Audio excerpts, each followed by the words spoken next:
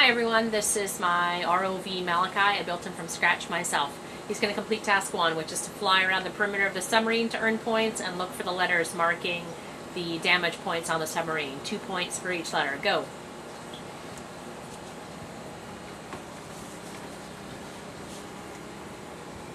And we saw all five letters. Now ROV Malachi is going to complete task two, which is pod posting. Come on down, ROV Malachi. Post some pods.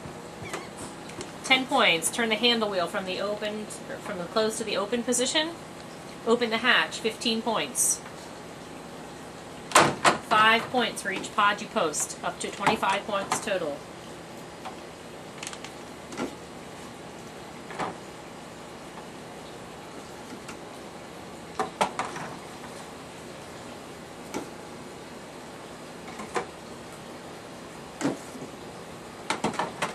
Ten points, close the hatch. Fifteen additional points, turn the handle wheel to the closed position. Now you must ventilate the ROV. Pick up your ventilation inlet valve. Fly down and open the hatch door. Insert the yellow nozzle into the ventilation valve. Let go. Turn the airline from closed to open. Count to 10.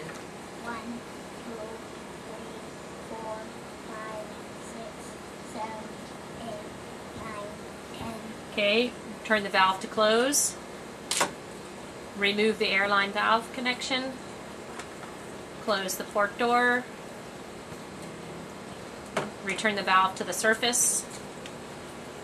And if your mating skirt is not already attached, you may attach your mating skirt. Fly down to your ROV.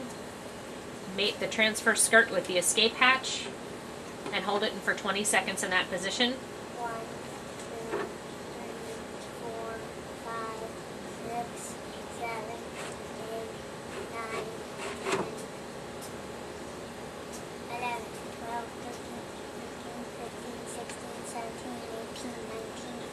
Okay, undock your mating skirt and return to the pool surface. You've successfully completed the missions and earned bonus points for finishing on time.